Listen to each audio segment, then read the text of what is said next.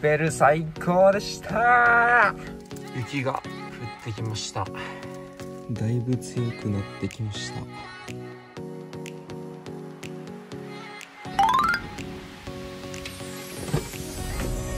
今日は鬼滅を見に行きます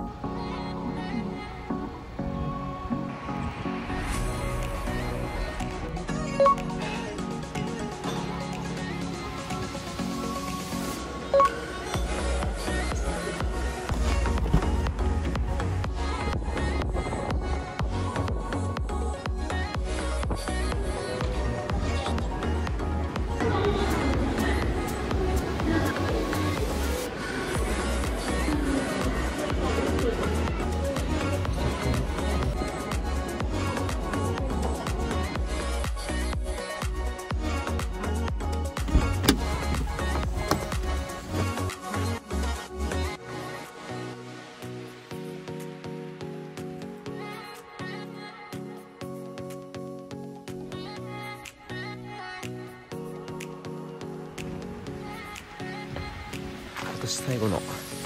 ランニングに行きます、まあ、少し走って温まってきたので今年の振り返りでもやりましょう、まあ、今年はコロナでいろいろとありましたけどその中でも結構、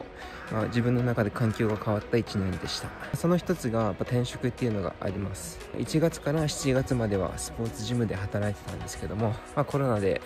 営業停止になって仕事ができない時に今後どうしようかっていう考えた時に辞めるっていう決断をしました。で辞めた後に今帰省してるここの佐賀で農業をしようと思ったんですけど、まあ、その辞めたタイミングで、まあ以前働いてた川崎の会社の方からお声が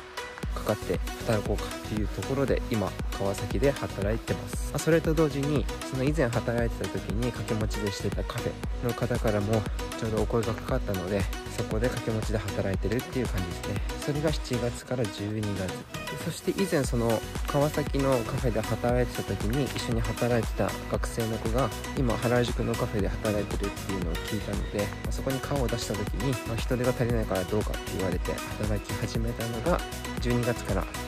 働き始めた原宿のカフェですね。なので今はサラリーマンをしながら2つのカフェで、副業をしてるっていう形です、まあその変化が一番ありますね。うんまあそういう1年でした。いつも見てくださってる方ありがとうございます。また来年もどうぞよろしくお願いいたします。では寒くなってきたので走ります。ラストラン楽しんでいきたいと思います。